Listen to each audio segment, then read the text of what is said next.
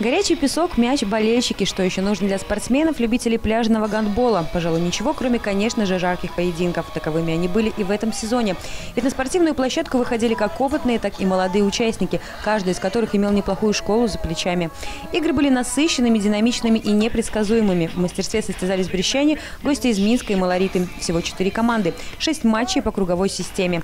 Сложность данного спорта в условиях, куда труднее даются технические элементы на песке, плюс ограниченная в размерах площадка площадка. Но участники показывали высокий уровень подготовки, чем вызывали восхищение болельщиков. Культивируют их до 100 стран этот вид спорта. И непосредственно у нас э, он уже с начала 90-х годов развивается. У нас э, э, национальная команда по пляжному гандболу становилась и чемпионами Европы в начале 90-х, и, и чемпионами мира. Отличие основное в чем заключается? В составе команд, в правилах игры этому виду спорта присущи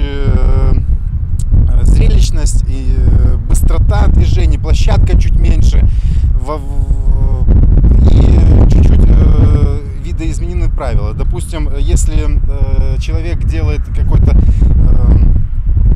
такой красочный кульбит, красочный бросок, то можно забивать, гол считается как за соревнованиях приняли участие любители активного отдыха от 16 до 60 лет, в том числе девушки, которые, к слову, принесли своим командам немало очков.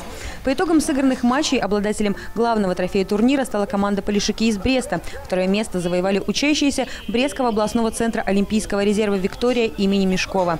За яркими поединками наблюдали титулованные гости из Москвы. Профессиональные спортсмены отметили огромную популярность гандбола на Брещине среди молодежи и взрослых. И это естественно, ведь у брещан есть отличный пример. Мы много раз играли с БГК.